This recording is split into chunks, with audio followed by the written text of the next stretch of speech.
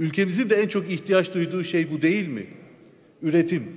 Üreterek büyüyen bir ülke olma özlemi. Hatta katma değeri yüksek, getirisi yüksek üretime ve istihdam yaratan üretime yönelik bir gelişme, bir kalkınma. Öyle geçici, öyle e, bugünü kurtaran e, veya istihdam yaratan değil ama birilerinin e, cebinin daha da çok dolmasına yönelik bir e, yatırım değil. Eğer ekonomik kaygılar, ekolojik kaygıların önüne geçerse bu ülkede ne üretim yapacak toprak kalır, ne tarihi ve doğal kaynaklarımız kalır, ne kültürel değerlerimiz kalır.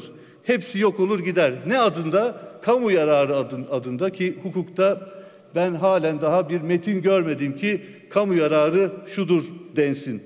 Dolayısıyla topraklarımızın, tarım alanlarımızın, e, sularımızın, havamızın kirletilmesinin önünü açan bir süreç. Çok basit bir örnek vermek istiyorum. Çok örneği var. Az önce e, 3. E, hava limanı ile ilgili yer konusunda yapılan itirazlara ve mahkeme kararına rağmen aynı genelgeyle arkadan dolandı. İzmir Efem Çukuru, İzmir'in tepesi, yanı Çamlı Barajı. Buradaki altın madeni kapasite arttırmak istiyor. İtiraz ediliyor. Halk, STK'lar, kamu itiraz, e, ka- kamuyun temsil eden halk itiraz ediyor. E, ama mahkeme kararına rağmen, yürütmeyi durdurma ve ip- iptal kararına rağmen arkadan dolanarak e, ÇED olumlu raporu yeniden veriliyor mahkemeyi yok sayan.